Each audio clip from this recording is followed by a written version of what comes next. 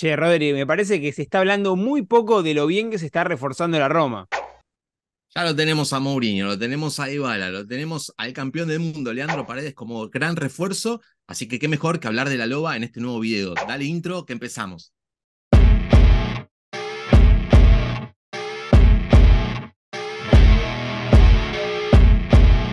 Bienvenidos al canal de Fútbol y Pizarrón. ¿Cómo les va, gente? Bueno, hoy traemos otro video nuevo al canal y vamos a hablar de uno de los equipos que realmente nos sorprendió por cómo se está moviendo en el mercado de pases y que nos hace mucha ilusión ver esta temporada. Rodri, te doy la bienvenida, ¿cómo andás?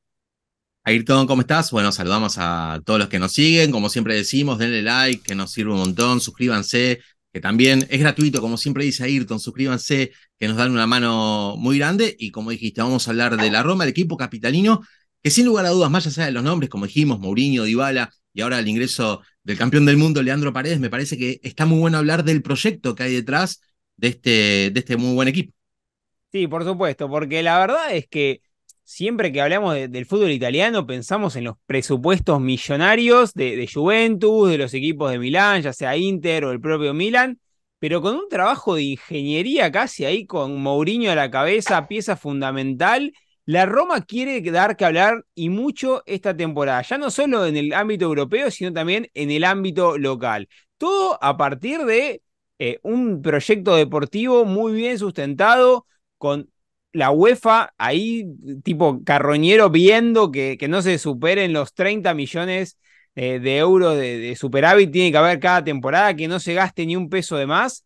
Y la realidad es que lo están haciendo muy bien, con un director deportivo como es Tiago Pinto, tiene una historia súper interesante, con pasado en Benfica, está haciendo un trabajo fantástico, fichando a coste cero jugadores libres o que busca préstamos realmente a muy bajo costo, Llorente, Christensen que viene del Leeds descendido, o sea, se está moviendo demasiado bien en el mercado con sus armas, con lo que tiene, pero siempre anticipando las movidas de sus rivales. Y con, obviamente, ¿por qué decimos que Mourinho es clave? Porque, bueno, con su experiencia y su convencimiento, logra que los futbolistas quieran ir a, ser recuperados muchas veces de la mano del entrenador portugués.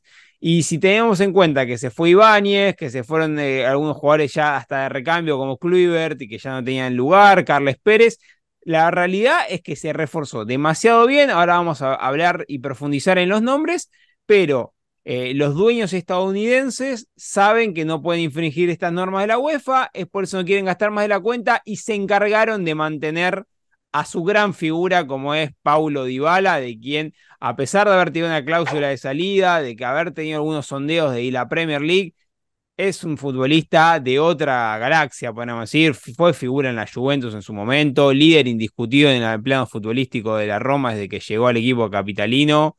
Eh, yo creo que haberlo asegurado a Dybala fue un factor fundamental para que luego Mourinho decidiera quedarse y además para poder renovar las esperanzas de, tener un gran rendimiento a partir de ahora. Así que Rodri, te paso a vos la pelota y charlemos un poquito ya de los refuerzos y del plano futbolístico de este equipo.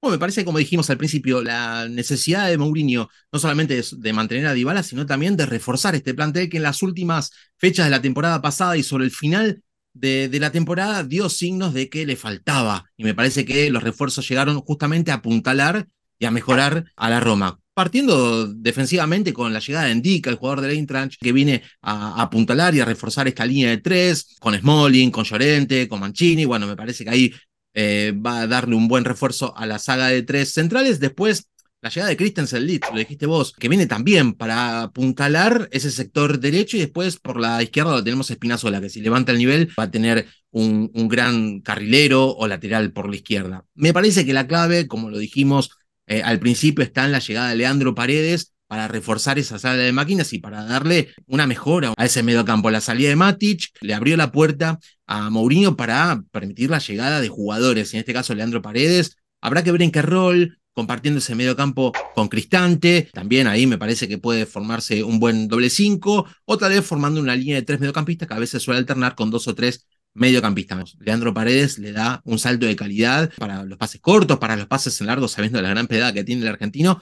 Me parece que ahí hay un salto de calidad en ese medio campo, en la sala de máquinas, para que la lidere el argentino. Después la llegada de Renato Sánchez, que si recupera el nivel que tuvo en el Lille campeón, estamos hablando de un jugador, un box to box, de esos que tal vez le hacen falta a Mourinho para estas transiciones que él suele aplicar muy bien en sus equipos. Y después, para esta parte creativa, para y para acompañar a Pablo Dybala, está la llegada de Ward. Para mí, uno de los jugadores fetiches que tuvo los últimos años el Lyon, que también alternó buenas y malas por sus lesiones. Bueno, llega acá para tal vez acompañar y asociarse. Se han visto en los amistosos algunas jugadas entre el argentino y el francés me parece que es para prestarle atención. Habla también, como siempre, la presencia de Pellegrini y del Sharawi de acuerdo al esquema que utilice Mourinho. Me parece que acá la duda está en el, el 9, el centro delantero, ante la baja de Abraham por muchos meses, la lesión ligamentaria que lo va a tener afuera al inglés está Velotti, que es, es un buen delantero eh, sacrificado que ha sabido alternar ¿no? titularidades y, y suplencias, pero siempre dándole soluciones.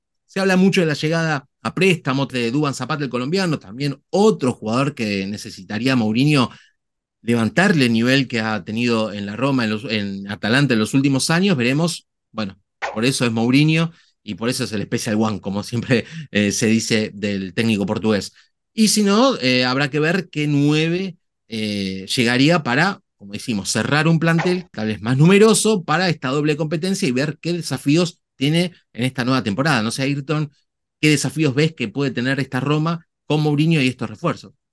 Sí, lo primero que hay que saber es que es un equipo que viene progresando paulatinamente, fue campeón de la Conference, finalista en la última Europa League, a la que llegó ahí con lo justo, como bien vos remarcaste, a través de lesión, a partir de los lesionados, pero yo creo que esta temporada va a renovar las esperanzas dentro de la competencia europea. Mou es un viejo zorro, sabe muy bien cómo llevar esos torneos, le suele ir muy bien en los mata-mata, me parece que puede ser uno de los grandes candidatos a, imponer eh, las condiciones y luego en la Serie eh, me, me, parece que el gran objetivo es regresar a la Champions League, ¿no? Eh, donde la Roma nunca se debió haber ido, donde Mourinho también siempre quiso estar, cuenta con futbolistas que tienen esa intención, así que yo creo que esta vez no tiene excusas, a pesar de que puede ser difícil pelear el torneo. Me parece que Napoli, el actual campeón, el vigente campeón, los dos equipos de Milán y además la Juventus pueden partir como un poco favoritos, pero que va a estar dando pelea y va a ser un equipo molesto y rocoso para el resto, eso no tengo ningún tipo de duda. Así que bueno, Rodri, no sé si vos coincidís con mi mirada o harías algún tipo de modificación.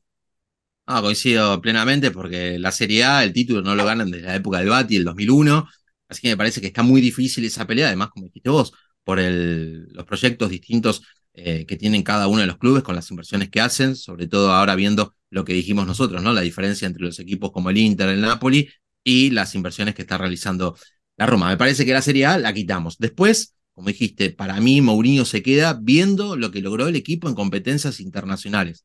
Por eso es importantísimo sostener ese piso de, clasificación a las copas con el desafío más grande de pelear un puesto por clasificación a las Champions. Pero en la temporada eh, me parece que el plantel se reforzó como lo pidió Mourinho, por eso se quedó, pero se reforzó pensando en las competencias internacionales y dar pelea. Me parece que ahí Mourinho detecta que tiene un diamante en bruto que él lo viene puliendo, en la Europa League puede dar mucho que hablar este equipo. Y bueno, vamos a tener que seguirlo entonces, ya comienza la Serie A, dentro de unos, unas semanas, unos meses va a empezar también la competencia europea. Estaremos siguiendo de cerca al equipo de Mou, contando algunas historias más que vimos para este video interesantes en algún video más cortito. Pero bueno, queremos leerlos a ustedes en comentarios, que nos digan para qué creen que está la Roma, qué opinan de este equipo de Mourinho, si les gusta esta sociedad que se va formando con Dybala, Paredes, los campeones del mundo. Bueno, todo déjenlo en los comentarios, cada comentario nos ayuda un montón. Dejen su me gusta si es que les gustó el video, suscríbanse al canal. Y bueno, Rodri, como siempre te digo, gracias por todo.